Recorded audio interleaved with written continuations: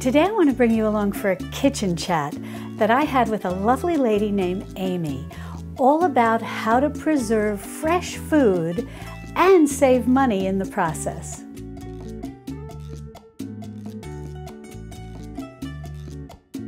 Hi, sweet friends. I'm Mary, and welcome to Mary's Nest, where I teach traditional cooking skills for making nutrient dense foods like bone broth, cultured dairy, ferment, sourdough, and more. So if you enjoy learning how to be a modern pioneer in the kitchen, consider subscribing to my channel and don't forget to click on the little notification bell below. That'll let you know every time I upload a new video. Well, recently this lovely lady, Amy, her name is Amy Cross, invited me to be on her channel for a kitchen chat. Amy has the YouTube channel Cross Legacy and also has a website by the same name. Now, you may know Amy from her very popular Instagram site, where she shows people how to extend the life of fresh food. And in the process of being able to extend the life of fresh food, you wind up being able to go to the grocery store less. And in turn, the less you go to the grocery store, the more money you're able to save.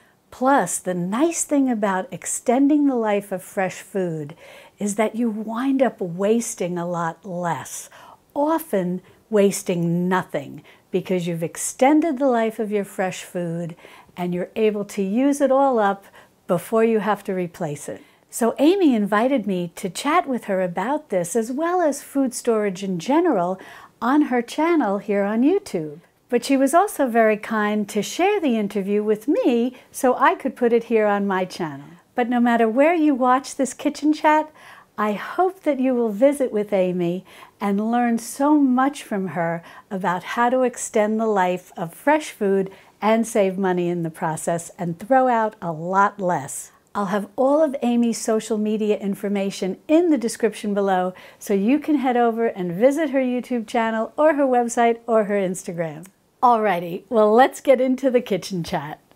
I'm here today with Mary from Mary's Nest, and I am so excited because I've actually been following her for years. So much so when her YouTube videos are playing in my house, my family recognizes her voice and knows exactly who I'm listening to.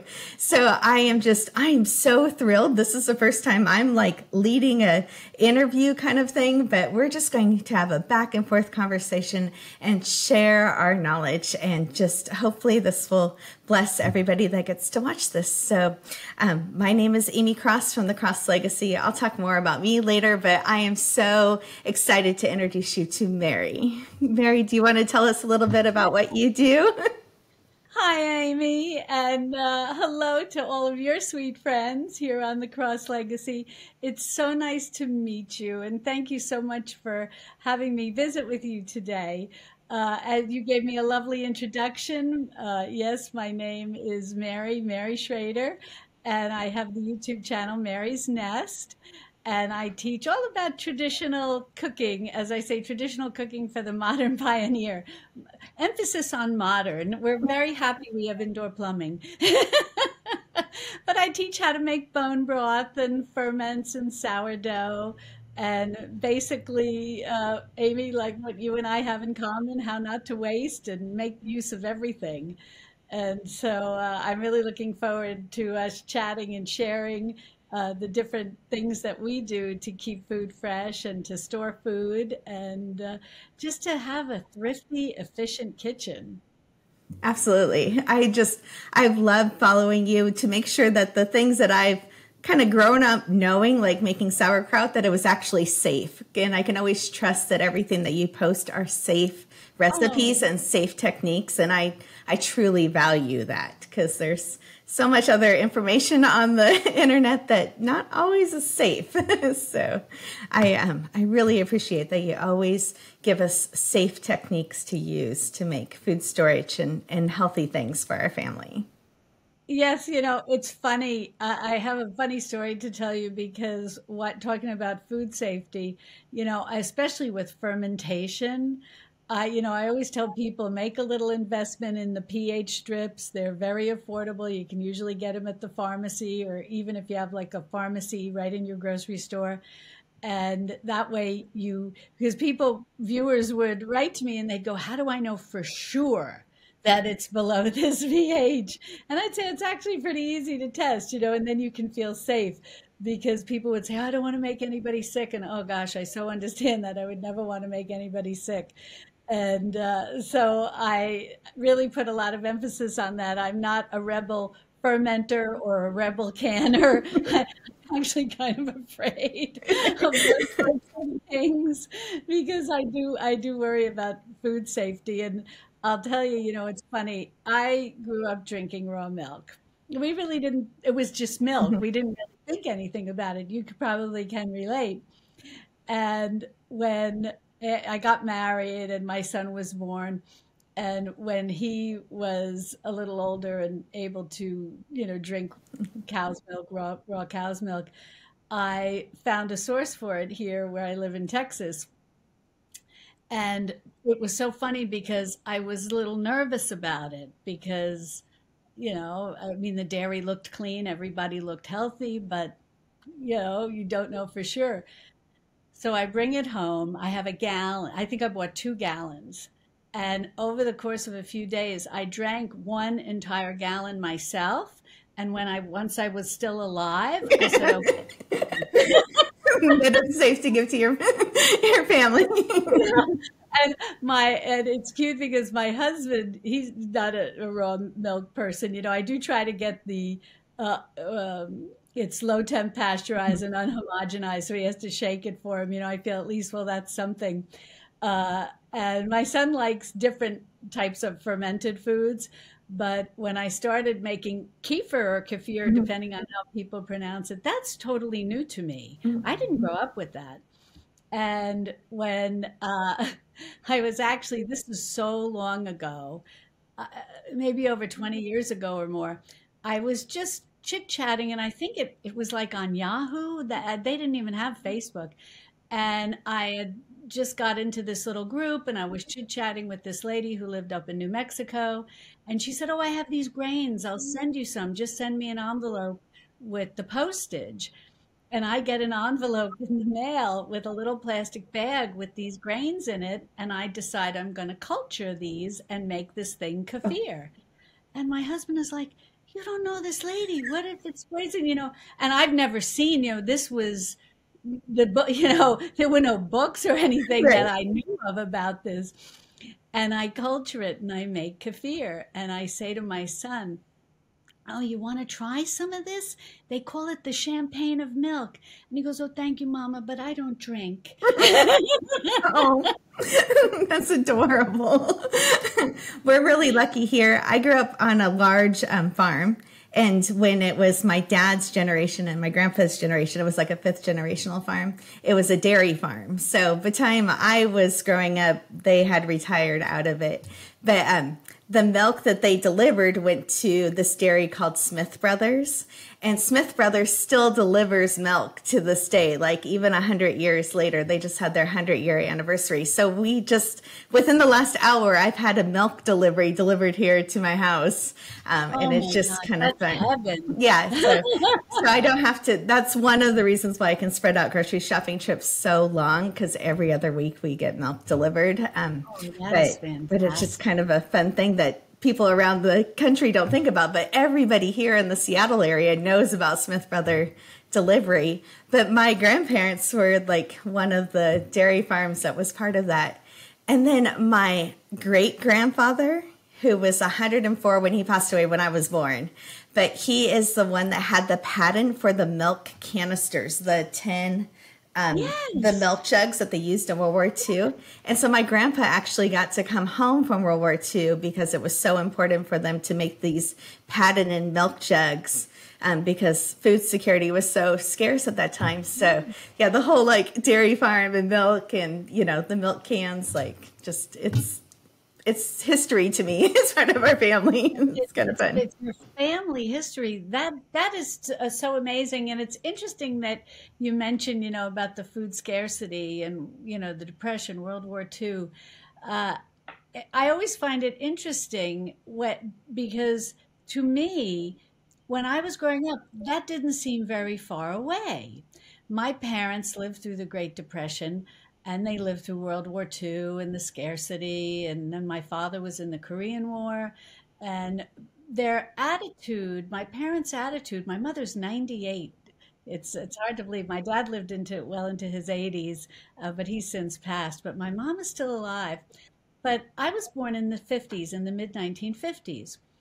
And my parents were always talking about the Great Depression and they were always talking about World War II.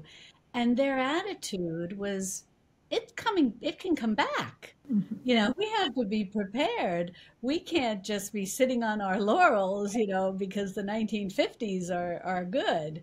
And, and then it was funny when the 1970s hit, and then there was stagflation, and at that time i was it was like high school and college for me and uh, it was funny because my mother would say see i told you, you know, these things can happen again. And you know she's waiting in the gas lines and all of that you know. And so I I suspect that both of us, you know, and from what you have shared, you know, on your YouTube channel, and also being a fifth generation dairy family, uh, that you really understand uh, going through, you know, your your family history, going through fam uh, the scarcity of food, and not just scarcity of food, but what's involved in raising and creating food.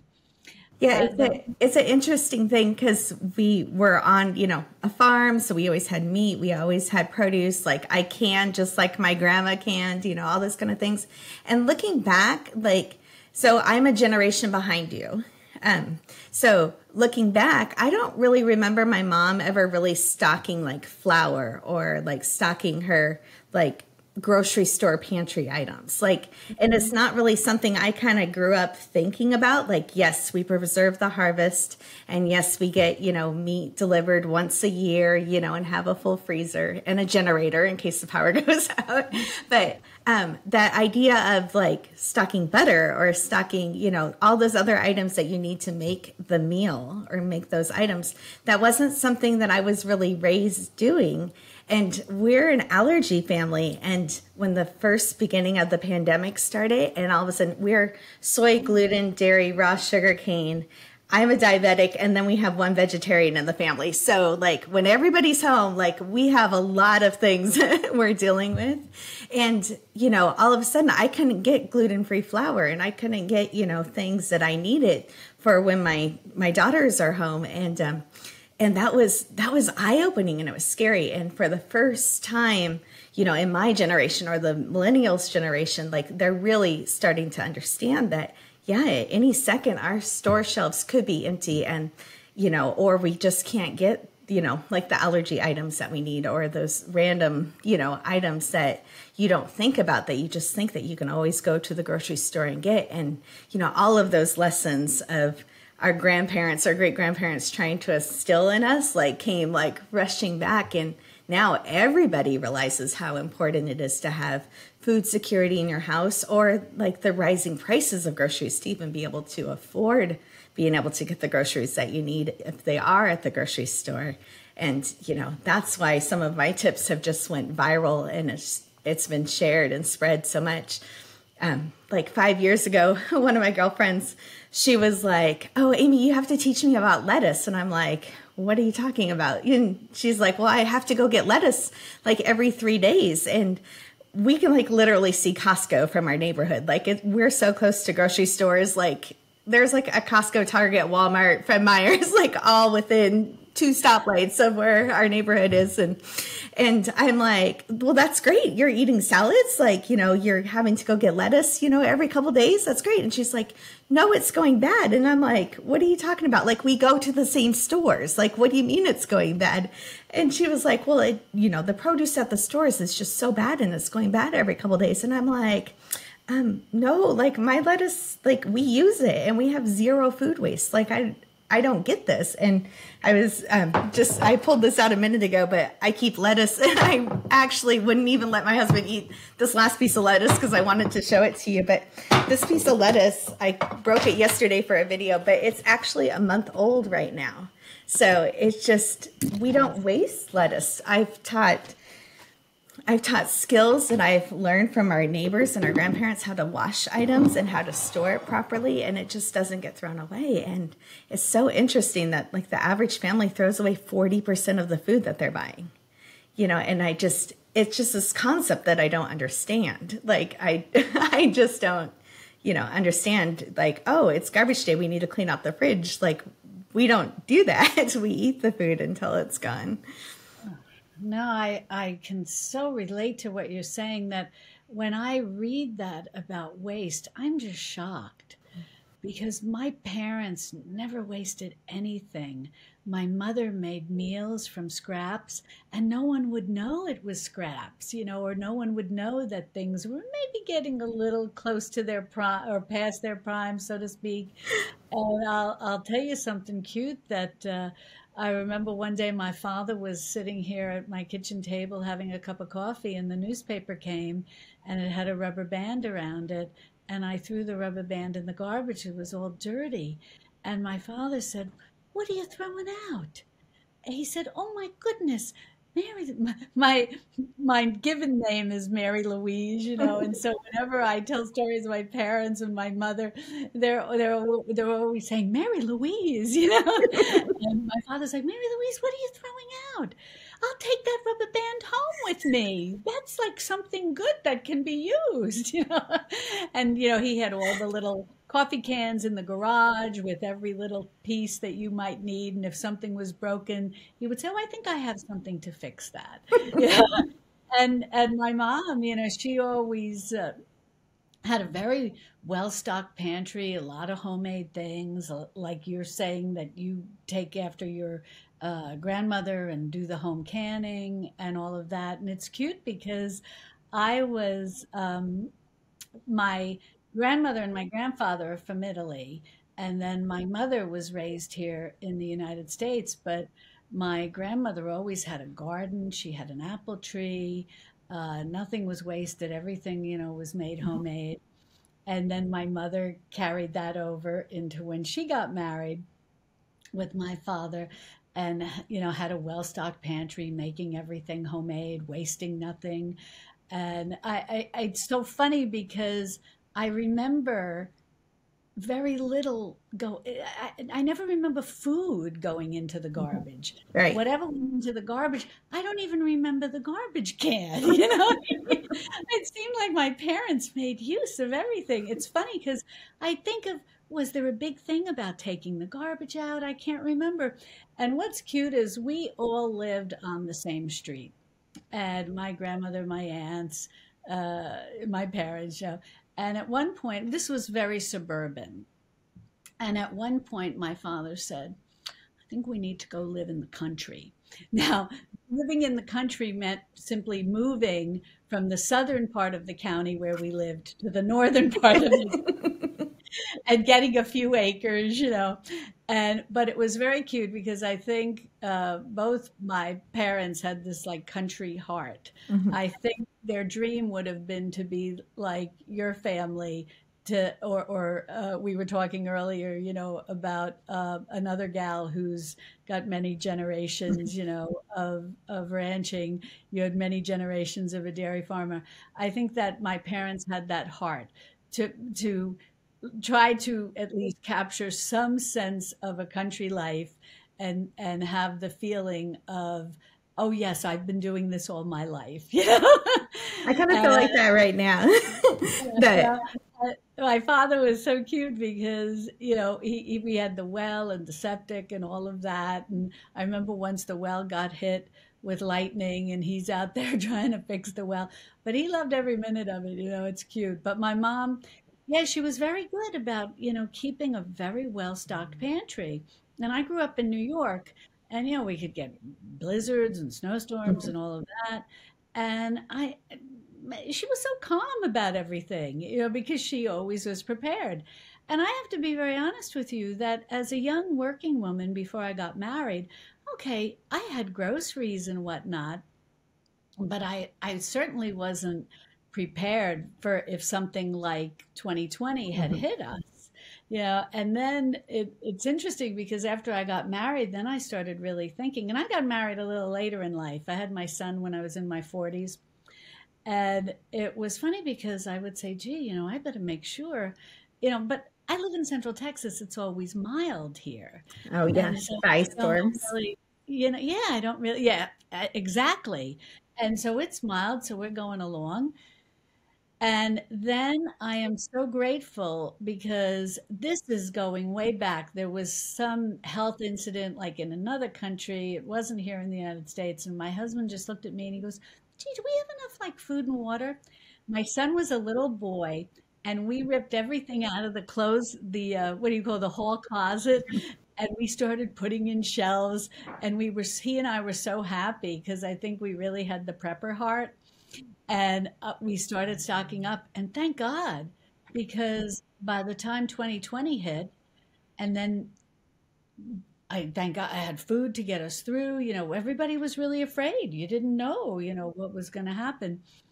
And then I learned a lot of lessons when the ice storm hit in 2021. you were talking about a generator.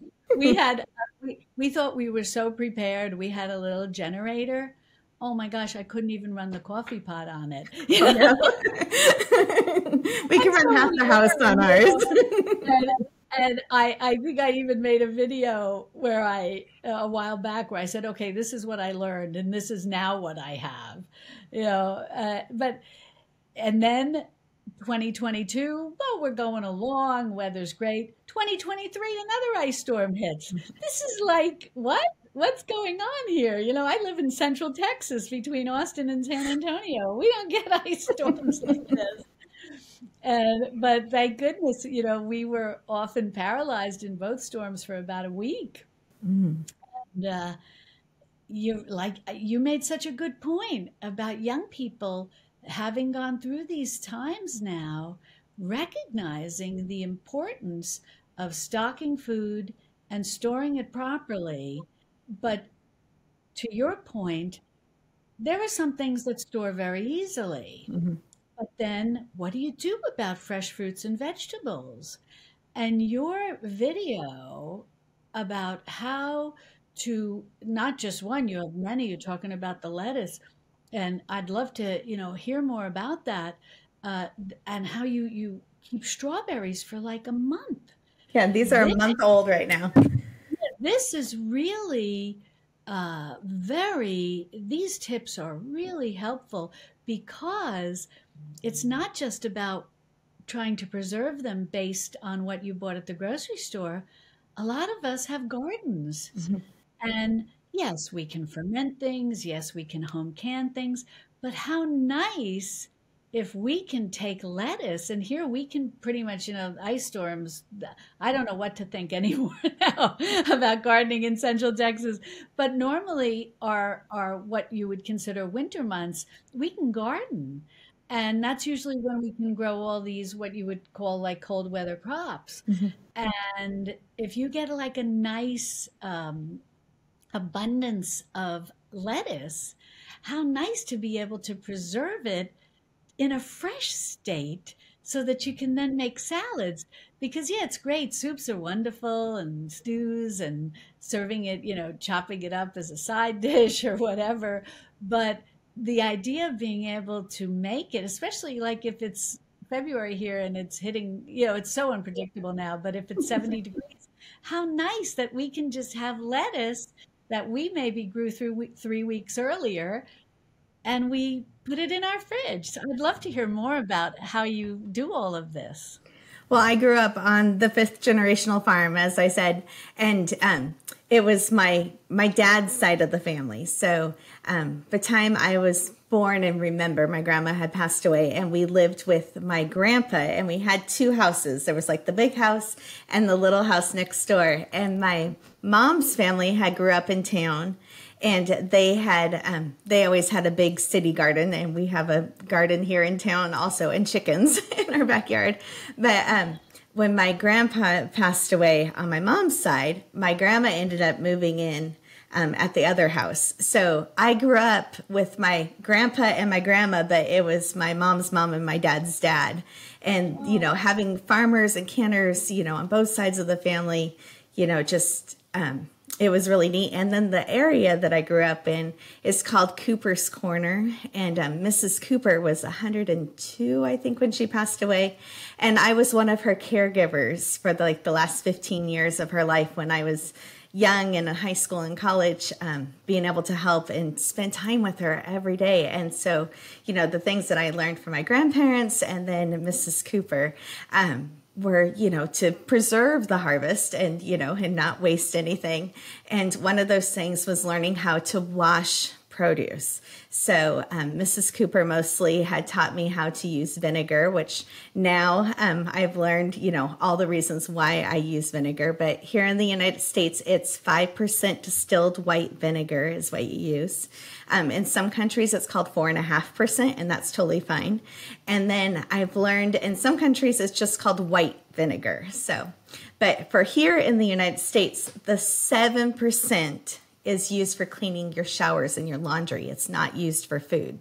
So if you're in the United States, make sure it's the 5%, not the 7%. So other countries, it's just safe for your produce. But that kills off mold spores, listeria, E. coli, other harmful pathogens. I don't know if you've heard, like just this week, um, strawberries have been recalled again for hepatitis A. Like, you know, these simple things are helping like protect your family. You know, lettuce and greens are most one of the most recalled items and you can actually bring it home and make it safe for your family to eat and not have to worry about recalls and and different things. But I soak it in a large bowl with a quarter cup of distilled white vinegar, that's 5%, for only 2 minutes. And it's so important when you're like washing your strawberries that you're setting that timer because it goes so quick and there's been a lot of people that have copied me and wanting viral videos after I've done this. Um, and they're saying to soak it for like 10 or 15 minutes. Like, you will ruin your berries. Like, don't do that. Like, 2 You'll minutes is, yeah, two minutes is all you need.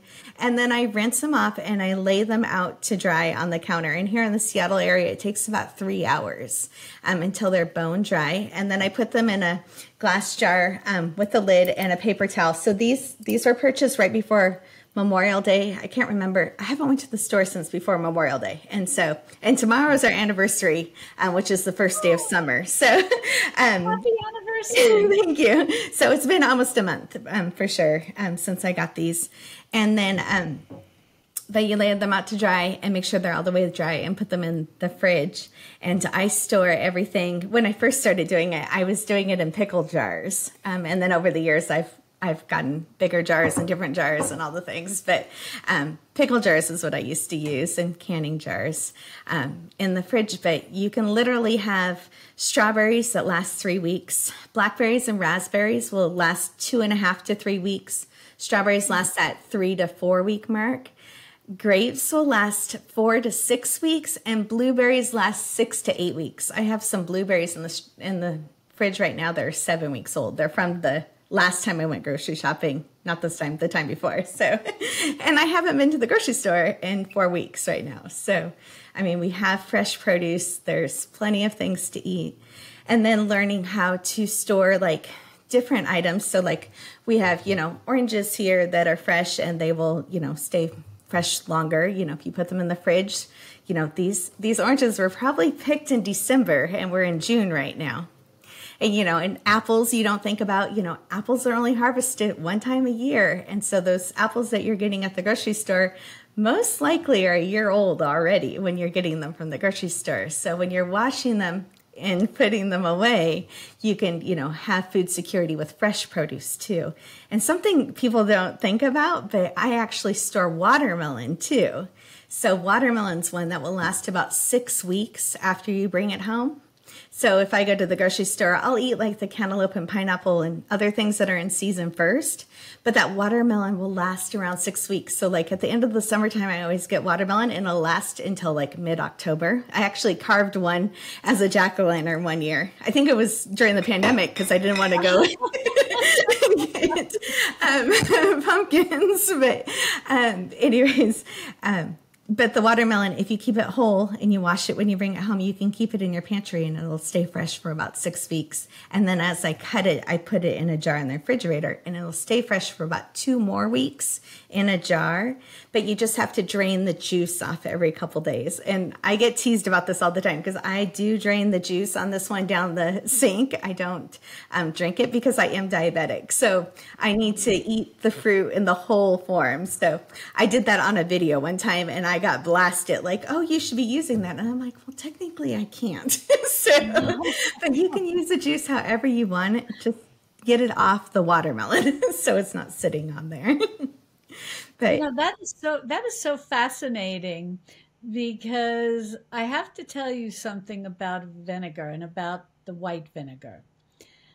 During 2020, I got I had uh, like it was maybe January, so nothing had happened. The virus had not materialized, and I had developed um, some problem on my left foot, and I don't know like what the medical way to describe this would be, but basically, you know, we have all these like little capillaries or whatever mm-hmm. in our feet and i guess they circulate liquid you know through our body. I'm not a i'm like so not medical you know?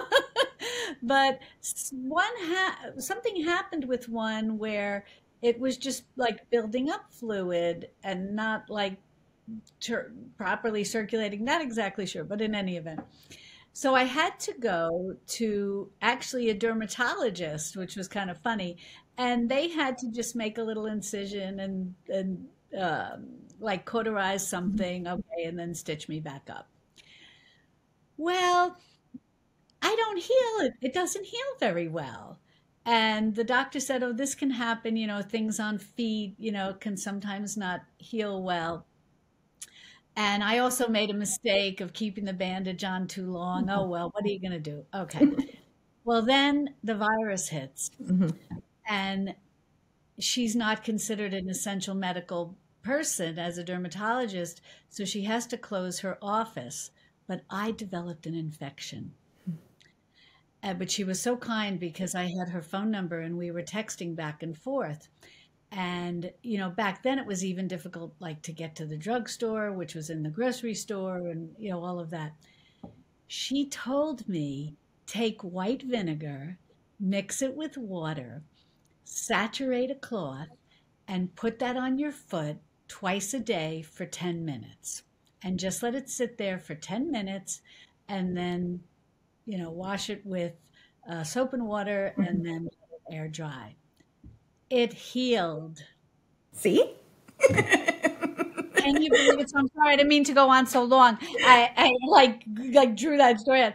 But the point was here a doctor is t- this is a medical doctor telling me to use in essence vinegar and i said i can't believe this has worked so beautifully i wish like i had done it early on you know after i had had the incision and she explained just what you explained that vinegar kills an assortment of mm-hmm. different types of bacteria and so that's an just an excellent alternative at least you know that not you don't always want to have to rush to take antibiotics because right. they get your gut health all screwy and then you got to fix two it. years yeah and the simple vinegar and water so it's amazing that you just two minutes and and you're preserving something and it's fascinating to me that even your watermelon after you cut it and put it in the jar lasted longer mm-hmm. than what most watermelon would last under normal circumstances. It's almost like just a short cleaning of the rind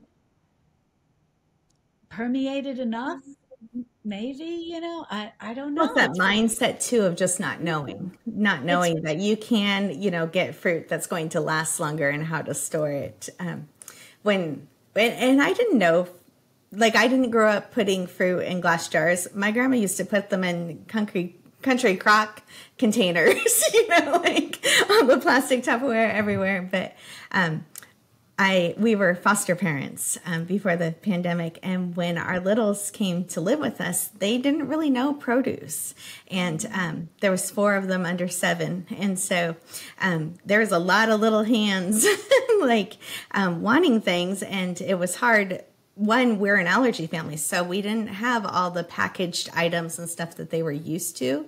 And so it was kind of a culture shock a little bit to come and see whole foods, you know, like, and we made cookies and stuff all the time, like there was snacks and stuff. But when I open up my fridge, it's beautiful. Like, and, and, over the years, I had started putting things in glass because I was trying to remove the plastic out of my kitchen. I I felt a need to do that, and um, and when the littles like started pointing at you know being able to say you know I want this, but not knowing the name for that, you know, and then eventually it's like I want red or I want blue or you know, and then they started learning the names for the produce items that they wanted. But I really taught them how to eat a rainbow, you know, every day, and snacks came straight from the fridge, and um, you know, and it's just so interesting to me that I ended up putting strawberries in a jar so they could see things better and then realized that these washing techniques that I used, like now all of a sudden, not only were they clean, but they were lasting a lot longer. Like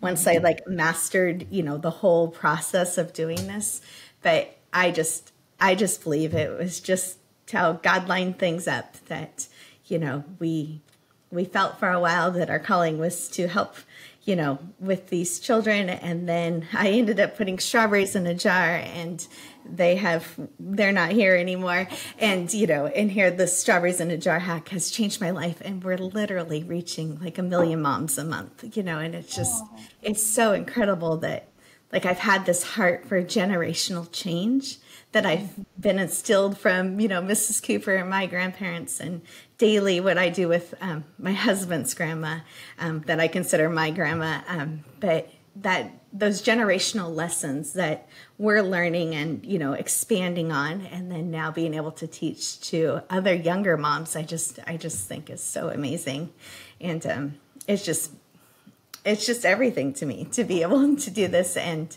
you know, to know that there is somebody that is wanting to learn, you know, just as much as I like listening to your videos and learning from you and, you know, gaining that knowledge that you have that you're passing on. Um, I just, I just truly value being a social media influencer and it like breaking down all the norms of what that means, you know, like really being able to educate others and give others hope. And, you know, over the pandemic, you know, it was, it was such a scary time. It, you know, I'm here in the Seattle area. We were we're within 30 minutes of where the first US cases were, you know, like our grocery stores were the very first ones in the country to shut down and we were the very last state to open back up afterwards. So, like we were we were closed down for so long and all you heard on the news and you know different places was just all this negative stuff. And to be able to go and listen to your videos during that time and it just being so peaceful and calming and giving you hope and um, and just knowing that it was okay to store these foods you know and to store them safely. I have like the funniest story. So my husband's grandma is 94 and she fell in January and she lives by herself. She's totally self sufficient, all the things. Like she was driving at Christmas time. So oh, this all has like, it's kind of knocked her down a little bit. And so I've been there almost every single day since January to help her. And one of the things was being able to clean out her fridge when she was in the hospital. And in the last 10 years or so, she has gotten a new fridge and so, you know, I was, you know, going through her fridge and I've wanted to do it for a really long time. and I'm going through her fridge and I'm finding these items because she is, you know, a depression era baby, you know, and like that idea of just buying, buying, buying more, but nothing about food rotation at all. It just, what can you hoard with food, you know, like just that not being able to ever get it away and never having enough. And um, I'm cleaning out her fridge, and there are these packages of um, chicken, like, you know, those tinfoil kind of packages or those foil packages of tuna fish? Oh, yes. Yes. Yeah. Okay. So they they were like that, but they were um, of tuna or of, of chicken, not tuna in, in her fridge. And so I was like, okay, you know, like, you know, we'll see, you know, and I'm looking at the date. Those chicken packages were from 1993. Like my husband and I were in high school 30 years ago and dating, and those packages have been in our fridge for 30 years. Oh 30 years. She had chicken that was 30 years old in her fridge. And so I'm doing this in January, and I um, I was teaching one of our classes at our high school in one of the food science classes and talking about this, you know, whole subject and everything. And I was saying like there was mayonnaise in there from 2004 and there was, you know, like all of these things, mayonnaise that she was eating, you know, like you could tell that she had been eating. And they're like, that's older than me. you know, I'm just like, oh my goodness. Like it's just, it's so interesting, but like I believe in having food security in our house and I do inventory and rotate it. And, you know, grandma just doesn't. Like she just wants to have food security, but the food that she has at her house is unsafe to eat mm. and, and then still not being able to part with it. Like this is not safe. You have plenty. There's other things here that, you know, can replace this, but it's just it's just been such a learning experience for me the last six months.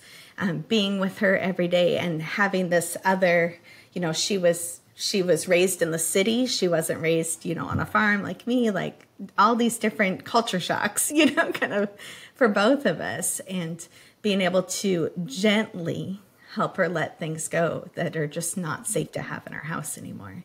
And you know, I teach families. I have a grocery course, and and I teach families and our local food bank. I have a, a course that I teach with our local food bank um, to help have food security in your house, but to how to rotate those items, and so you're not, you know, just in that hoarding mindset and it not getting rotated, and you're actually using it. So you're actually saving your family money, not just buying it to hide underneath the bed and never think about it again. You know, and um, it just it's just interesting, you know, three years ago, I might not have understood that mm-hmm. mentality that grandma has. That, that is so true. I think that uh, the, one of the most important things when you are putting together your pantry and thinking about food security is to remember to rotate food you know, there are some things that you can kind of keep as, you know, your forever foods that you kind of know really don't expire or go bad. Uh, they may lose some nutrition over time, whatever the case may be. But for the most part, that is so important to kind of get develop that mindset of first in, first out. Mm-hmm. And that's I always tell people it's so important to know what you have and to try to do an inventory. And the initial inventory can sometimes be a little overwhelming if you've never done one before. you know? And and then you start finding these things like you said 20 year old bags of you know tuna fish or chicken you know and so on and so forth.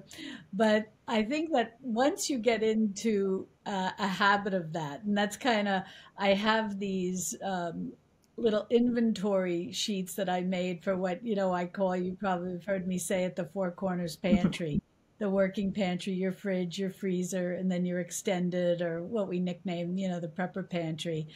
And I I tell people there's no email required, nothing. Just print these out. Just start. And you know, and my website's the same as my YouTube channel, Mary's Nest, uh, just marysnest.com. And I say, I, I don't want this to be difficult for you. I feel like you, Amy. I want it's so important to me to teach this and to help people so that these habits are developed number one of stocking your pantry but also understanding first in first out and doing an inventory knowing what we have and preserving the skills of how to cook, how to make traditional foods, how not to waste. All of these things that I worry, I don't want this to be lost. And I think that you have such an important message that you share in, about, you know, I'll often talk about, you know, clean out the crisper when the veggies are getting a little past their prime, you know, and we got to make a soup or do something with them. but I think that uh, you have a really good message that a lot of us have been missing in that we store our food best we can. We do the best we can with our fresh food. And then we try to clean out our crisper or clean out our fridge and make meals with these things uh, where no one's even going to notice that the food was a little maybe past its prime, but it's still safe to eat, of course. Right. Uh, but knowing how to preserve, how to take food that's fresh and extend it you know this is and and what i really like about what you share is that you're not saying okay you need a lot of fancy equipment to mm-hmm. to uh, preserve this yes it's great to have all these different food saver devices or whatever but i'll confess to you that sometimes I just want a really simple way to keep my food fresh. I don't want to bring out the big machine. I'm like maybe I'm feeling a little lazy or I'm a little tired, you know. I'm well into my 60s now, and there are days when I'm like, gee, that chair in the kitchen looks really comfortable. I want to sit down, you know.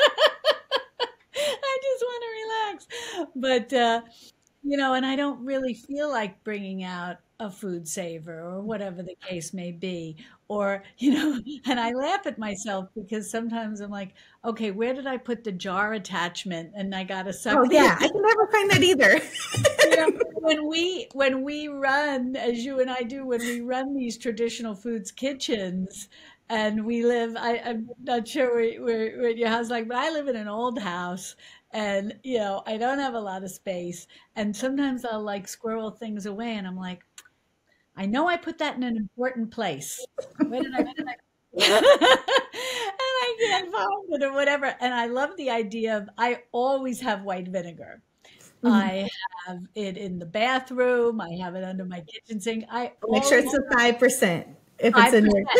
and actually, you you taught me something today. I use five percent everywhere. I use well, That's fine too. Just don't do it the other way. right, exactly. You know, I, I, you know, it's funny. I, I always just because it's it's interesting because with canning, they always say mm-hmm. even though sometimes the vinegars at the grocery store will say like canning and pickling, but the canning books will say five percent. Mm-hmm. You know, you don't need any fancy schmancy type vinegar, you know, and I'll just buy the 5%. I have it in my bathroom. I have it in the garage. I have it in the, uh, under my sink, in the kitchen. We use it. My husband has some. That's why we have some in the garage.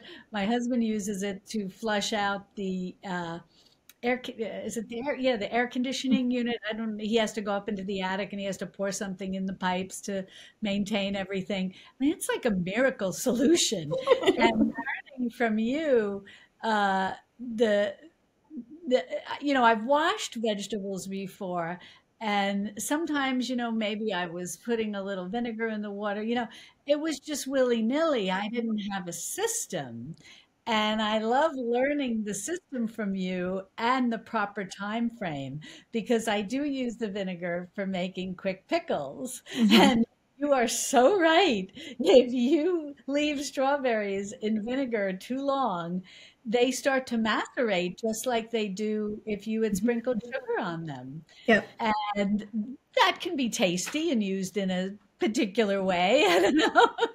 but it's not going to help the whole process. And so I think that uh, you really narrowing this down and figuring out how to um, the right amount of time and then how to store it with the paper towel and the glass jar everything that you you teach is like you said we're preserving these skills that uh, we can always be learning we can always be adding to our repertoire for how to preserve food uh, in a, a bunch of different ways. I often talk about having multiple streams of food. You always hear like the uh, I don't know who, like different people on the radio. I don't know if it's like a Dave Ramsey like that. Uh, but you know these these different financial gurus will talk about having multiple streams of income, and one day I was saying multiple streams of income. Okay, yeah, that'd be nice, but I need to have multiple streams of food because I'm always thinking of food security, and so I think that have knowing how to home can, knowing how to ferment, knowing how to dry food, uh, all, all the different ways that we can preserve food and preserve them in relatively easy or simple ways that don't necessarily require us to make a big investment. Like, yes, would be great to freeze dry things, sure. Right.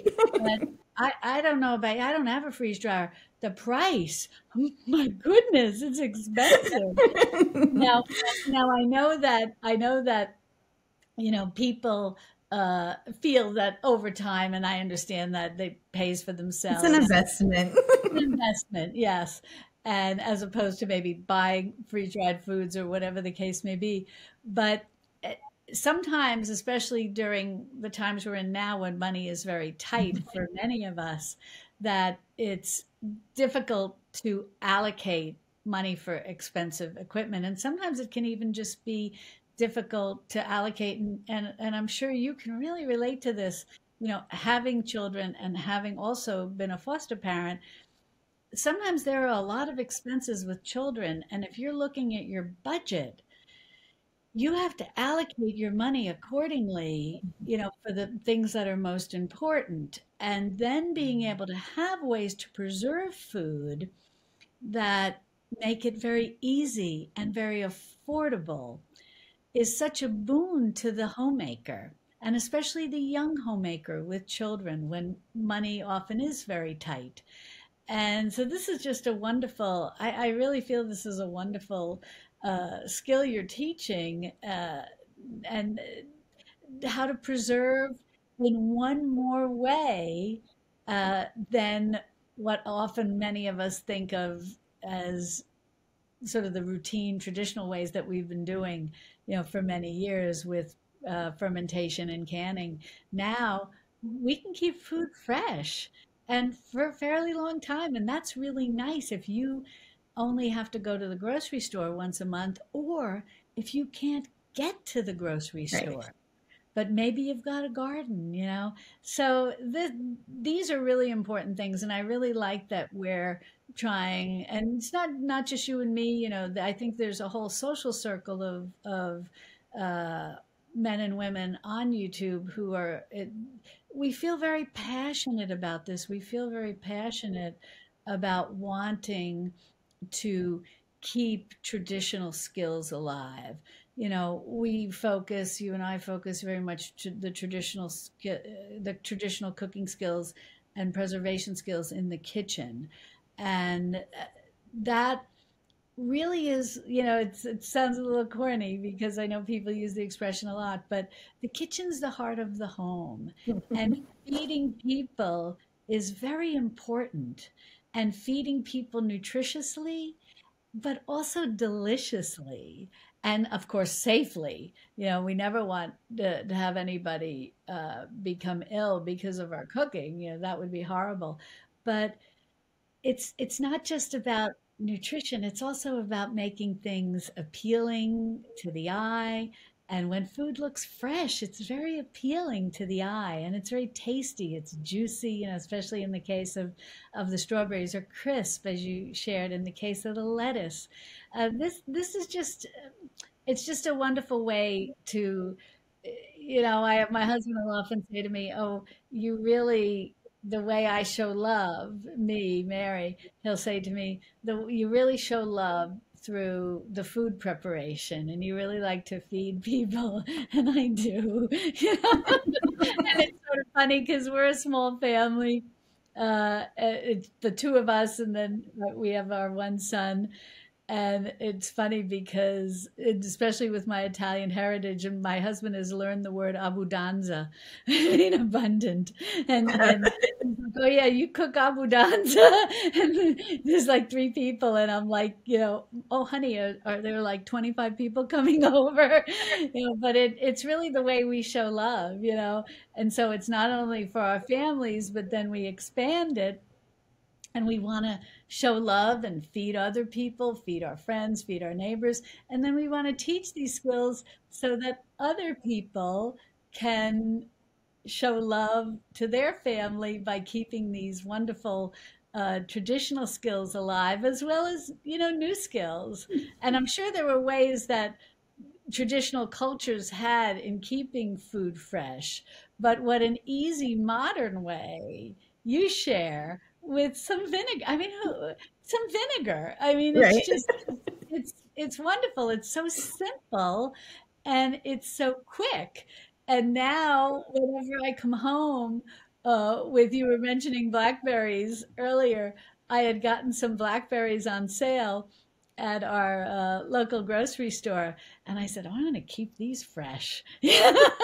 I know Amy taught me. You don't have to go in the freezer. You can actually keep them fresh. I get like it seems like it's daunting. Like when mm-hmm. you go to the grocery store and then you have to like wash everything and put it away and and then I get people that say, "Oh, I don't have time for that." It normally to do a whole like 3 week three weeks worth of groceries, no matter if our family size was bigger or now that it's smaller. Um, it takes about 30 minutes for me to wash everything and lay it out. And then I go rest or I go do something else while it's laying there drying. And then it only takes like 10 minutes to put everything in the glass jars and put it away in the refrigerator. So 45 mm-hmm. ish minutes once a month or once every three weeks to have fresh produce the whole entire time.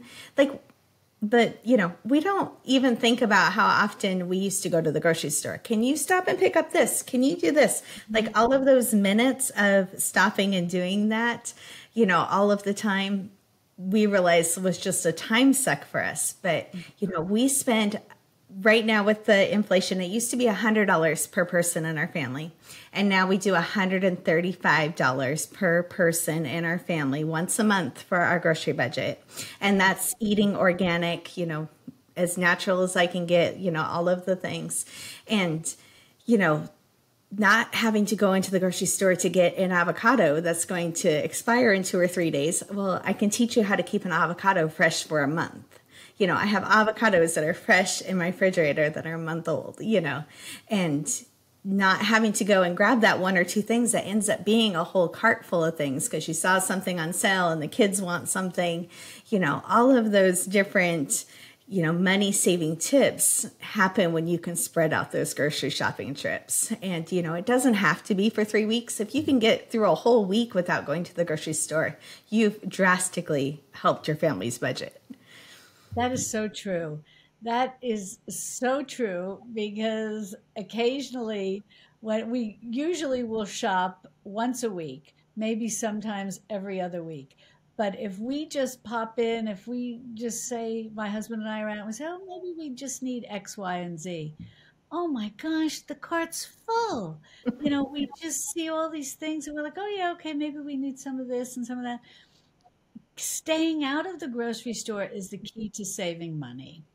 And if you can get to the point where you only have to shop once a month, I think the budget that you've set is actually very doable. Because yes and you had to increase a little you know with inflation prices definitely are higher uh, lately in the in the grocery store than they were uh, at uh, a few years ago. But that's still a really good budget. And i definitely feel the more that you can not be making these short little trips into the grocery store, the more money you're going to save in the long run. Mm-hmm. Because there are a lot of things that can be very difficult to not be tempted by grocery specials. And you might say, oh, well, I, I maybe I need that. Maybe I can use that, whatever. And I have found that over the years, becoming more aware of what I'm bringing into my kitchen and using it up and keeping track of what I've got, I've saved so much money. I mean, and then if and then if I can even stretch those trips out farther, I'm going to save even more.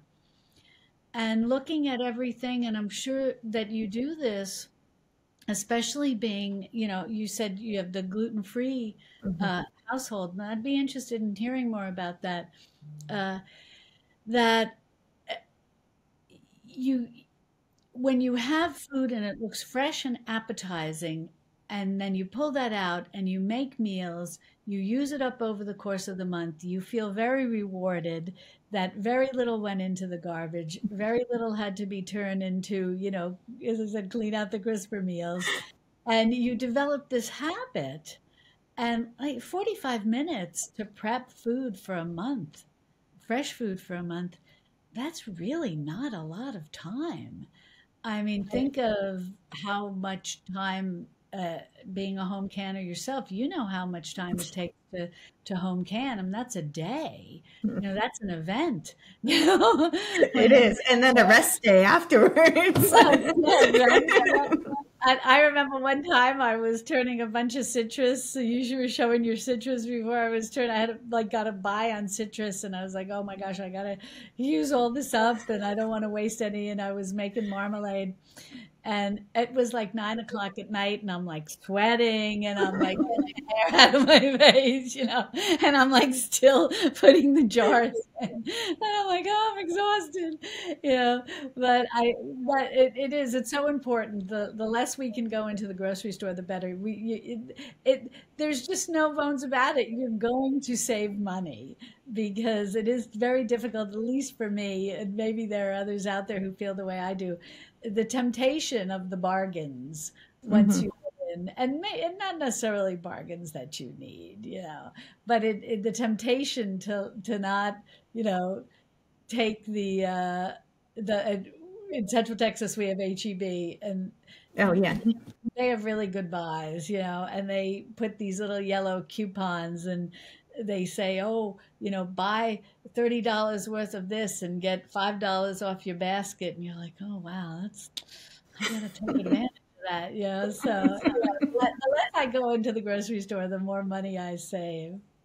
It's interesting going from like having a larger family at home just, you know, a couple years ago to now it's just my husband and I that transition of like not overcooking and not wasting like leftovers and different things I have um, reflex sympathetic dystrophy. And so um, it's like a pain syndrome, um, kind of like fibromyalgia.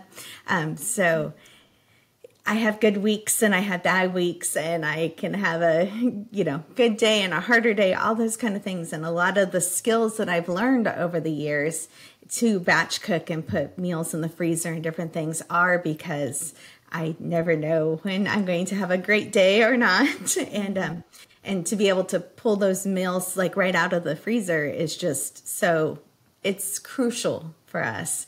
And but you like people that don't batch cook or don't prepare meals at home, they don't realize how easy it is. Like mm-hmm. when you're making dinner and you can just, you know, divide it up and put two more portions in the freezer and have two more dinners worth, it's still the same pan. Like you didn't, you know, you didn't worry about having to mess up the kitchen multiple days. You know, you're just putting it in the freezer for another night instead of it going into the refrigerator for wishful thinking, you know, that somebody's going to eat it, you know, like you can easily plan ahead and make meals and get them in the freezer so you can pull them back out. And that is one of the things that has really saved us.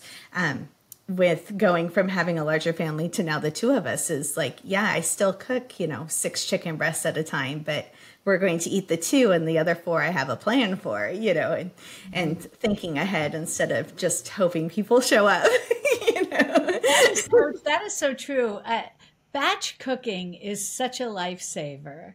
And I'll make a, like a big, big pot of a bolognese, and then I will divide it into 3s mm-hmm. and we'll have the bolognese uh, with some spaghetti or whatever I'm serving. And then I love knowing I have those two batches in my freezer and then, especially now with our son being home, he really enjoys that. And knowing I can just pull that out at a minute's notice when you know, sometimes you're like, oh my gosh, what am I going to make for dinner? Or I just got out of my routine, or I forgot to defrost something, or, or whatever the case may be. Even with certain things that are frozen, it's really easy to reheat them when they've already been prepared. And the love's I, already in it. yeah, and I love, I love the, uh, yeah, I love the idea of like cooking the chicken. I, you know, I could roast a chicken every day. I love roast chicken. and I just find it so easy because, you know, I can just pop it in the oven. And I'll often just roast two chickens. And then I'll serve one for dinner. And then what's ever left over, we'll have that the next day, you know, sort of reincarnated, so to speak, into something different, you know, their tacos or soup, whatever. And then I've got the carcass, make for the bone broth, yeah. Right? but I love having that other chicken. And then I'll take all the meat off of that. And then I will freeze it in different containers. and then whenever I think, oh, gee, what am I going to make tonight? And I said, oh, I've got cooked chicken in the freezer. And I can take a batch out. I can do chicken tacos or, or whatever I feel like doing. That is a really wonderful skill. So between saving, you know, learning how to preserve fresh food so that it stays longer in your refrigerator, learning how to batch cook so that you have, and then freezer meals, whatever people call it. So batch cook freezer meals, and you've got that. Now you're really getting into a system because people will often ask me, and I'm sure you get this as well, and having a bigger family than me, people will say, what, "What's the rhythm like? How do you get kind of get into this where you're you're making real food, you're making real meals, but oh, the work and this and that. And I always say, just start with a roast chicken. It's not complicated. It's easy to do. And then you're going to have a lot of leftovers that you can serve the next day. You can uh, freeze some. And then you're slowly gathering up. I, mm-hmm. I, usually like to make a bone broth with three chicken carcasses. Yep. You can certainly just do one, and you're starting to gather up your carcass, and then you can make bone broth. And then if you uh, start preserving food to keep it fresh in the refrigerator, like you teach, you pull a few things out. Like you said, you've got your lettuce, it's fresh, it's crisp you don't need to worry that it's gone bad. So you've got a, a, roast chicken, you've got a salad now. You can maybe make some biscuits if you do dessert, and you've got some fresh strawberries, and you can do a little strawberry shortcake or whatever. And it's this whole developing this whole rhythm right. of knowing how to preserve food. And regardless of what type even we often think when we think of preserve we think of ways that we're preserving it for a longer period of time. But now we're adding to this system preserving and extending the life of fresh food and so this gives you more meal options and like you said you're not running out at the last minute uh, I uh, that I, I just the thought of trying to make dinner and then suddenly say, oh, I don't have X, Y, or Z. I don't want to run to the grocery store for a lot of reasons. I don't want to spend extra money, but I also don't want to drive over there, you know, and if there's traffic or whatever the case may be, I don't want to, and crowds, you know, I don't want to have to deal with that. So being able to pull these things out of my fridge and have what I need and make a meal. And often what's nice is it doesn't even really have to be specific to a recipe. It's whatever you've managed to keep fresh over this period of time that you've washed with the vinegar and that is still doing nice in your refrigerator. And you know, people often laugh at me and they're like, "Oh, Mary, what's the recipe?" And I'm like, "Well, you could do this, but if you don't have that, use this. If you don't have that, they're like, Mary, why didn't you have the recipe? oh, writing a recipe for the blog is so yeah. I'm like, I didn't know it was this much. I, you know, it's so funny when uh, when I was approached to write my cookbook, the Modern Pioneer Cookbook, uh, that comes out in August. It was funny because I was like, "Oh, re- recipes, um, okay, measurements, uh, measurements." oh, okay. Yeah. And I had to really work through everything, you know. But it was very cute because my editor was really uh, adorable. And he was, it's a man. And he said to me, I've never worked on a cookbook like this before. It's, the, you know, it, it's very interesting. It's more like a manual, you know, yes. like how to do this, how to do that. He goes, this is really interesting. I'm really enjoying this, you know. And it was I cute because someone who didn't know me asked me, uh, "Oh, could you?" Uh, I don't know if they asked if it was in the cookbook or if they were asking me if it was on my website. I can't remember, but it had something to do with Super Bowl snacks. Mm-hmm. And I was like, uh, "Have you seen my YouTube channel?" And they're like, "No way." I'm like, I don't really do Super Bowl snacks and stuff. I'm sort of teaching how to render animal fats. You know? I, I, like I get nervous, you know, when people say, "Oh, do you have a recipe for this?" I'm like, "Oh, I have very basic traditional foods." And I often don't get like the most involved I'll get will be like making jalapeno poppers, you know? okay, I hope that is good for the Super Bowl. but it's you know, I make I just make these very traditional things, and that's what I really love about being able to keep fresh food fresh, because I like to, you know, I've always been kind of a fan of um, people who write cookbooks like Alice Waters, where mm-hmm. it's just taking uh, fresh food and just presenting it or preparing it in a very simple way to maximize its freshness that people can enjoy and can eat. I I don't tend to do recipes that really in, involve a lot of ingredients and a lot of because I also don't want to have those ingredients and that they right. may go to waste. Or you know, like you said, you you look in your pantry and like, oh, gee, this is 10 years old. you know what? I bought it and I opened it and then I never, you know, used it again for a particular recipe.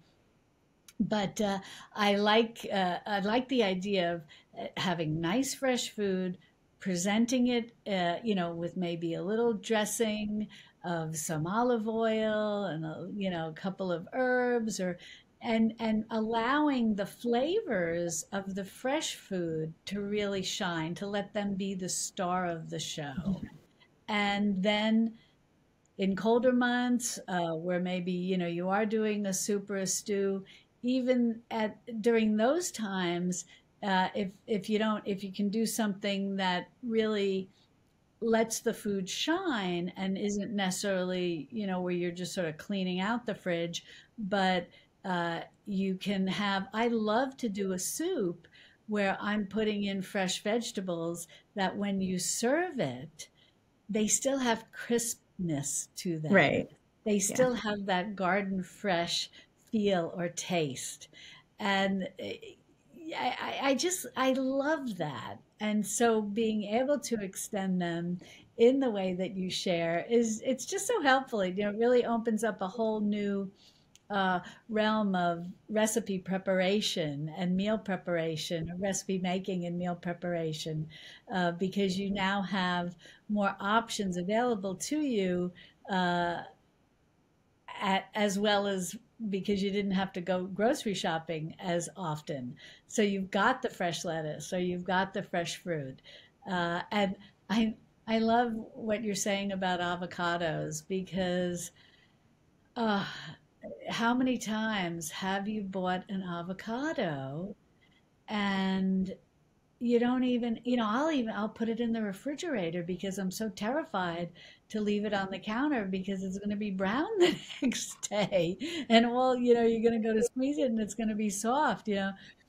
And so learning how to the all these little tips and tricks that you share it's very it's it's really eye-opening and just so helpful so for the avocados, if you store them in the fridge next to a lemon, they will stay fresher longer. They're produce buddies, and they they keep each other fresh longer. Mm-hmm. So um, it's just it's just really funny. Like these skills that I've learned. Um, we have a plant major in college, and so she's like, "Mom, it's not this, it's that. Like it's not mom magic. It's you know the vascular system of the plant does." And I'm like, I don't know. It just works. but it's neat that she's able to like now research the things that I just thought look pretty in the fridge. And now we're like, oh, it's this and this, you know, make that. But um, I just, I wanted to get back to your cookbook because I, I will, one, I want to show you this cookbook that I have first, but then I am so excited to talk about yours. But my, my husband's grandma, um, she is 94. Last year for my birthday, she gave me this cookbook um, and it's like falling apart and it like has all these handwritten recipes in it that I honestly it's really they're really hard to read. I can read cursive, you know, all the things, but they're they're really hard to read. And if she wouldn't have told me when she gave it to me, see it's all falling apart. I'm so careful with it. But I didn't know. My grandma is 94. This was actually her mother's cookbook. So this cookbook is like 100 years old and um, it's just so neat. But I'm scared to use it. I'm scared to open it. I don't want to have, you know, liquids next to it. I don't want to get my fingers dirty and be changing pages. Like, yes, I do want to make recipes out of it, but I honestly just want to protect it so much. You know, it's such a treasure. And I just love that you have are releasing a cookbook that you've been working on. Um, it'll be available August 15th, right?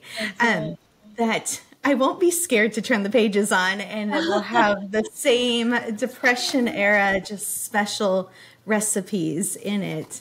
Um, and I'm so excited to hear some of your recipes that you're going to have in the cookbook if you want to share a little bit more. Well, I, I am just so impressed with that family heirloom that you have.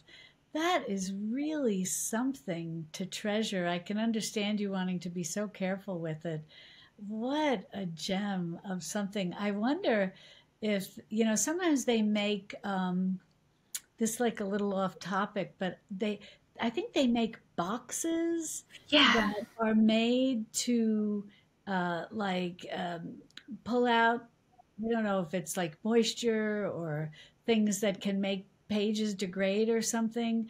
And maybe like they sell them sometimes at hobby shops or, or whatnot. Uh, that might be something to keep that in. That is it's, really it's kind of funny because it's one of the only things I keep in a Ziploc bag in my kitchen. But I do keep it in a Ziploc bag because I'm so afraid of anything and just the moisture in the air and different yeah. things. Um, oh, I don't but, and I have taken some pictures of some of the pages um, just so I can preserve them that way because some of them, the handwriting is um, older. But, you know, this is something that if we would have been cleaning out grandma's house someday later, I would have never known this was her mother's. Mm. And the fact that she was able to pass this down to me, you know, I would have just assumed it was her handwriting. And mm. to be able to know that this was her mother's um, handwriting in these books and her mother's, you know, recipes, you know, from the early 1900s, you know, to have this. And um, it's just, it's just a treasure. And, um, really and I can't wait to make more recipes in it. And I do love um, that well, kind of on two sides of my family. Um, but I do love that my like pantry looks a lot like what my my great grandma would recognize. But my great grandma was actually cousins with Laura Ingalls Wilder. Oh my goodness! Yeah. so that on both sides of my family, like we have like some fun, you know, family history. Mm-hmm. But um, yeah, Mary in the Big Woods is my grandmother, my great grandmother Mary, and oh then my, my mom was named after my great grandmother. So my mom's name is actually Mary also. Oh but um, yes, yeah, so she's she was um, she was cousins with Laura oh my goodness, that is really that is just such a beautiful story. I love that. I love that. So I love the fact of like modern pioneering that we're changing some things, but they're still the old techniques. You know, for us, we're changing things to make them more allergy friendly. You know, for recipes and stuff to you know match with our needs of our families, but to be able to break down those basic recipes. And the one thing when I was looking through your the Amazon to look at your book, because I I was so excited I wanted to order it and I didn't realize it wasn't out for a couple more weeks. And uh, but I was looking and you were talking about making graham crackers and I was like, oh, finding graham crackers that are allergy friendly are like so hard to do it. And so I'm really excited about that. And then I had just been on a podcast with Lisa Bass um, from Farmhouse on Boone, and she was talking about making marshmallows. And I'm like, okay, now who's making chocolate? Like, oh, the graham crackers here and go find the marshmallows here. so now we just need some oh. chocolate. but it would be just fun. It's so true. You know, I really I I love the fact that we have the modern conveniences available to us, but I really prefer when it comes to running a kitchen to run it like a traditional foods kitchen that we are preserving the skills that our moms and our grandmothers our great grandmothers you know depending on our ages whatever the case may be uh, the way these traditional foods were made by traditional cultures for centuries and they nurtured us and created good health and and also didn't waste you know these were all very important things. And it's funny because this was all second nature to me growing up with my parents. And then when I was a new mother and uh, I was an older mom, but my social circle was younger mothers and and their babies and Sally Fallon's book had come out Nourishing Traditions mm-hmm. and my social circle of ladies said you know how to make all this stuff don't you and I said, well, for the most part, you know, like I had mentioned earlier, kefir was something I wasn't familiar with. Mm-hmm. But I said, oh, yeah, I pretty much know how to make all this stuff. And so they were like, you need to teach us. And so I was so happy. And so on Saturday mornings, all the ladies would come to my kitchen and they would have their nursing babies. The fathers would take care of the older kids and we would just start you know we'd do bone broth and ferments and sourdough starter and sourdough and soaking in sprouting grains and making a lot of people were interested in uh, knowing how to make sprouted breads and mm-hmm. things like that and we just had so much fun doing that and then i would like go to other ladies houses they'd have me over and it was very cute and when uh, my son went to college uh, he and my husband said, gee, you know, you should put your cooking classes on YouTube. Because I was thinking I would do a, what, you know, like have it on a website. Mm-hmm.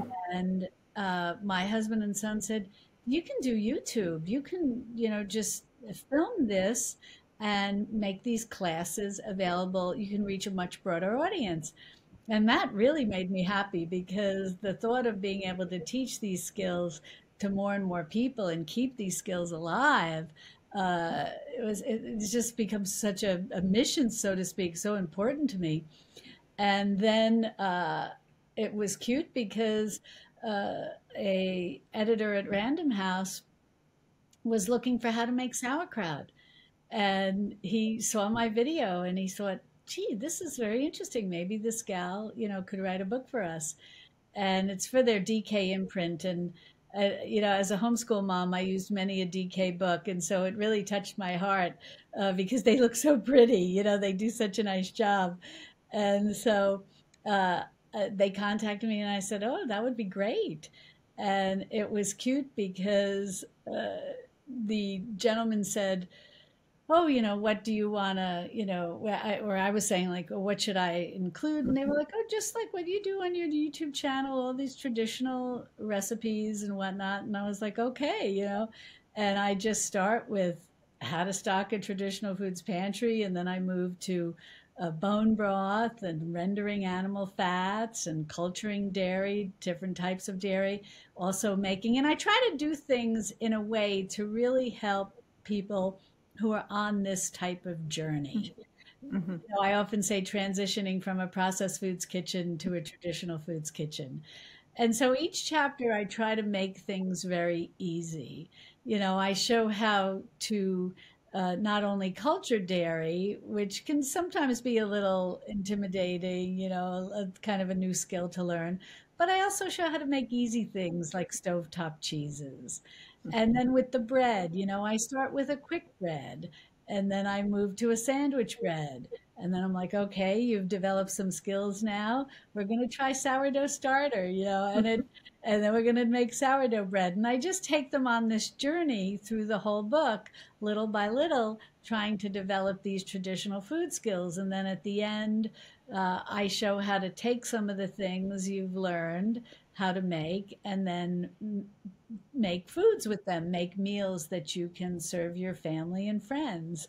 And of course, there's, yes, there had to be some sweet treats like graham crackers and a few other things, you know, to how to make these things homemade. But it was really a, it was a wonderful uh, experience. It was a wonderful journey. yeah when you get the book and you get to go through it. Um, the editor uh, came to my home with a photographer and a food stylist, and I'm actually making the food.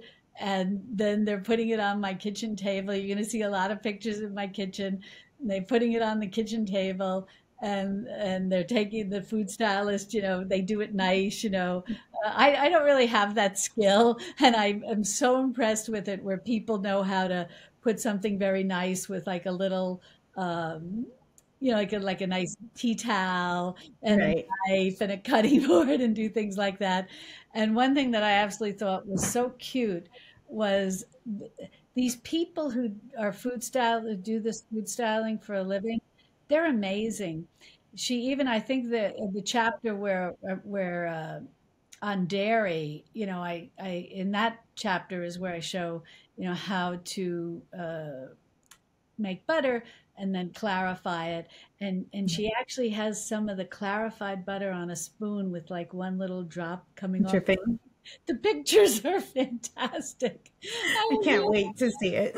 I was so impressed with uh, with how how uh, how they could do everything. But uh, there was a lot of fun. It was quite quite an experience.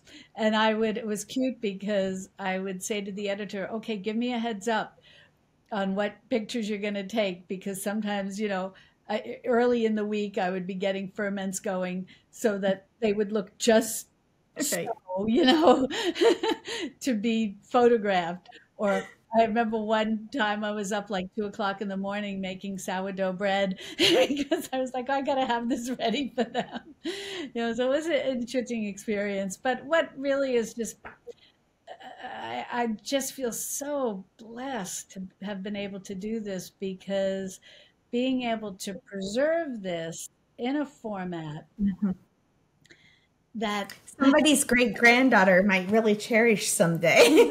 uh, maybe you never know. You know, something you can put on your shelf, mm-hmm. something that you know, no matter what happens in life, no matter what happens with the internet and videos and so on and so forth, something that, like your great grandmother's cookbook, something that is tangible, something that we can have on our bookshelf, that we can pull off our bookshelf, have as a reference. You know, I, I really hope that this is a manual to help people on their journey of, of creating a traditional foods kitchen because we've got we got to preserve this stuff. You know, we can't just be relying on prepared or my mother always called like packaged foods like you know mm-hmm. processed foods. She'd always call them prepared foods. You know she's like we can't rely on prepared foods at the grocery store. We have to know how to make them ourselves you know?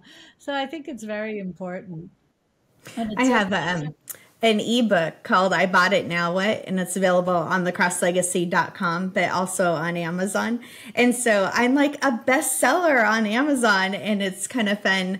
Um, but it teaches the top 50 produce items and how I keep them fresh for weeks.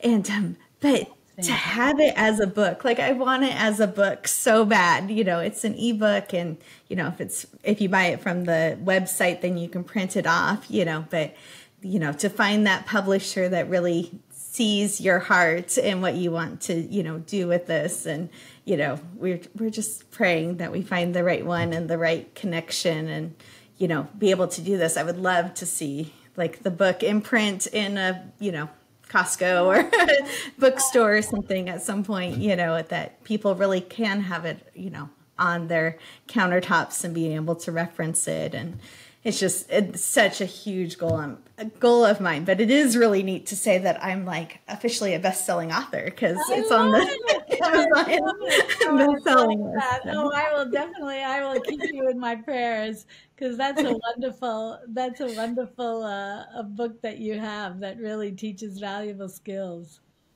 so, and nice that um, mine is under like gardening and fruit. So we're not even comp- competing authors either because it's not even listed under cookbooks. Oh my goodness. Just kind of fun. Oh, but. but you know what? I am a firm believer and I, I always see this, I always not see this, I always say this that uh, a rising tide, as they say, raises all ships. And I love to see uh, success across the board. It, it makes me so happy. You know, I I love the social circle, and I'm so glad to know you now. I love the social circle of traditional foods cooks that we've created here on YouTube, and I encourage you know so many people, and you know of of, of your uh, viewers. I encourage you if this is a passion that you have and and you have traditional cooking skills uh, share them share them in any way that you can uh, share them you know on the local level or share them on a national or an international level through social media whatever platform uh, you're comfortable with. Uh, you know i tend to really lean to youtube. I kind of find i find youtube uh, so straightforward, you know, because you make a video, upload it, you get comments, you can answer comments, you can help people. It really is like, you know, it's it's the modern day, you know, online classes. Uh, right. for the type of things that we teach. Yeah. So yeah, I always tell, I always encourage people and my some of my friends who have uh, who have come on board uh, YouTube, who right now, you know, have smaller channels. I really I, I, try to share a lot of information about them in my videos and on my community page on YouTube because I, I this is very important. This is th- these are skills they can't be lost. We need to have young people especially learn uh, how to run a traditional foods kitchen how to cook you know it's sort of cute my my son get such a t- tickle out of this because he would say, "Oh, mom, you'd always." Uh, show me how to roast a chicken because you'd say if you know how to roast a chicken you'll never go hungry. And, i love that. so, and i think that this is this is very important you know? And so i'm always trying to encourage people that there are more and more uh, viewers coming on youtube mean, you hear this constantly you know, bil- billions of people and uh, are watching videos. And there you know a lot of people will say oh there's a lot of people already on youtube. And i always say no there, there are people who are looking to connect with you and they mm-hmm. just haven't found you yet. And when they find you and they like your particular teaching method or the recipes or the methods that you're sharing, uh, you're opening up a whole new world for them. You know, how many people, I'm sure that you've experienced this um, with your Instagram presence as well as your YouTube presence. How many people have said, Thank you so much for teaching me these things? I never learned these things. And when so, I, right?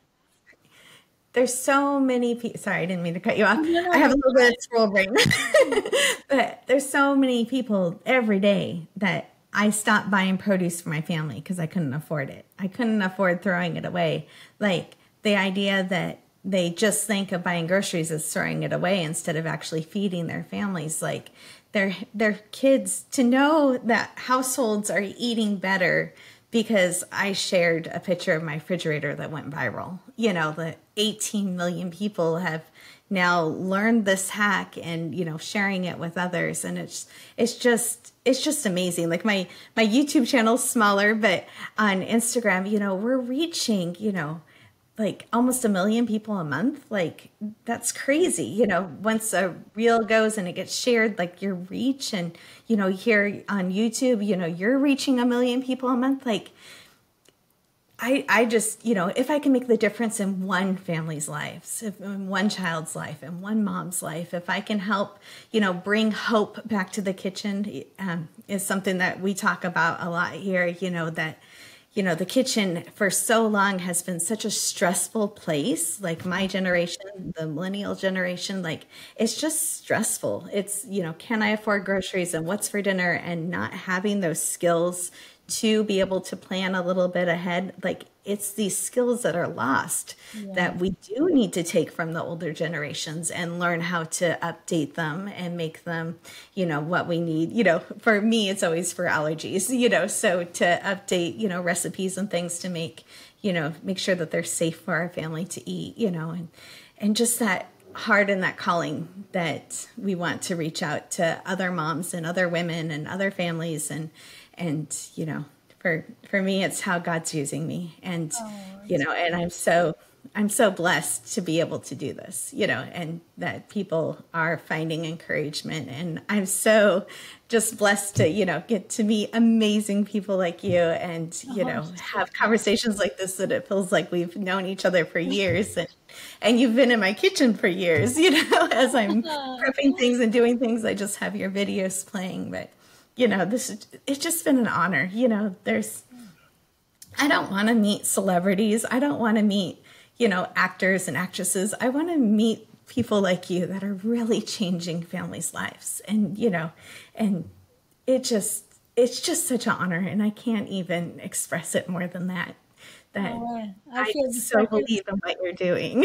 oh, I feel the same way about you. It's a, I, I find such joy when I meet people uh, with whom share this passion, you know, for preserving these traditional food skills. And I remember one time uh, I have a friend here on YouTube, uh, a little social circle of two ladies, Michelle, you may know her, Michelle over at Chocolate Box Cottage and Jackie over at Little Country Cabin. And it was cute. Uh, Michelle I've known for years, but uh, one day I was just watching videos on YouTube, you know, the things that are kind of surfaced on your homepage. And this video came up of this lady. And I, am always drawn, you know, to like videos of women and they're talking about, you know, old fashioned things. And I clicked on the video and she was so sweet and she was talking in just a small new channel and she was talking about nourishing traditions and i said okay this is my soulmate and I, I left her a comment, you know, and I, I said, oh my gosh, you, you know, you had me at nourishing traditions, you know. if you don't have that big yellow book in your kitchen, then. yeah, yeah. But, but it, I, I, I mean, it's such a joy for me, you know, to meet people like you and, and to meet people like those other ladies.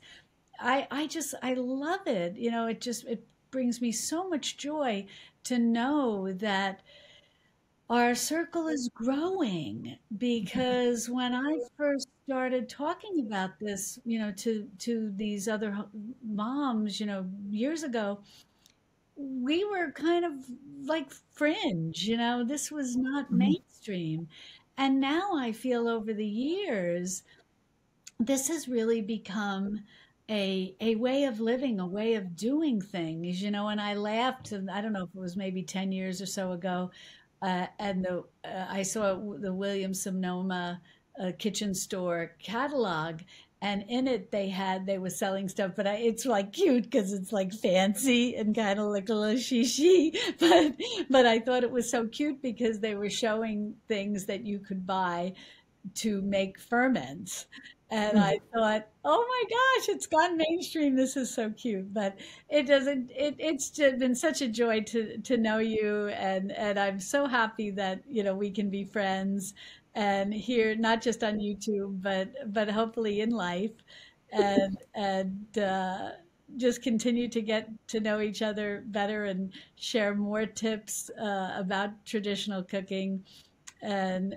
and help in the process of sharing teaching others as well and preserving these skills it's just a it's a real joy and it's been just such a joy uh, chatting with you today and getting to know you better it's been it's been so much fun i just i really just feel like i've sat here and had coffee with a good friend and you know i just it's just been so so fun. And I can't wait to see um, how we can share audiences and, you know, people that want to learn more about fermenting and, and making, you know, wholesome nutritional meals will come and follow you through me and people that are trying to save money on groceries by keeping their produce fresh longer will will switch around and we can just Definitely. help grow people's budgets and what they have available for their families and that we can help families eat better.